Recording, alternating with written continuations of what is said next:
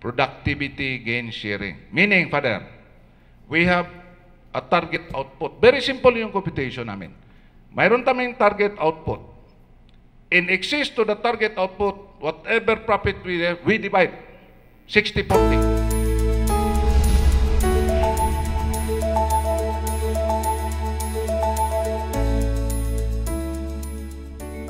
Di ba? 40 empleyado, 60 sa amin. Anong loss natin dyan? Wala. Kasi extra effort ng tao yun eh. Wala. It's not even about profit sharing. It is what we call productivity gain sharing.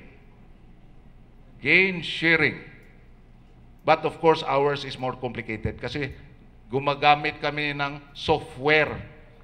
All our people are being tracked kasi barcode din na yung mga tao ko.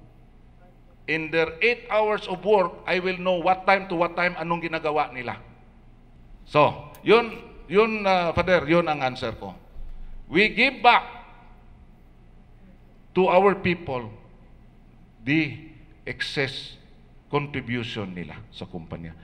And it creates more profit din sa kumpanya eh. Kasi yung fixed cost mo nandyan na eh.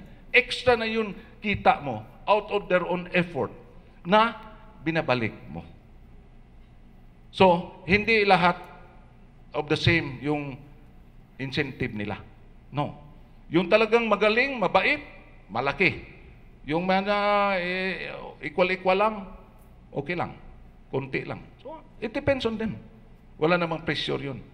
Pero, if you fall below naman sa target, agreed target natin, ah, papatayin kita dyan. Hindi ba? I showed you my kindness, pagkatapos kinakain pa po yung kamay ko, hindi naman tama yung sister, hindi ba? Duterte na tayo, sister, papatayin ako.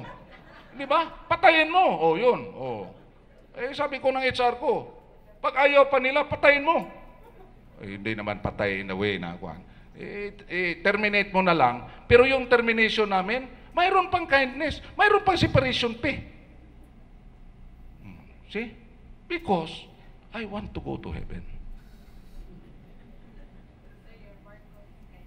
Yes. Ano bang masama dyan? Hindi ba? How can you say you can help if you're not kind?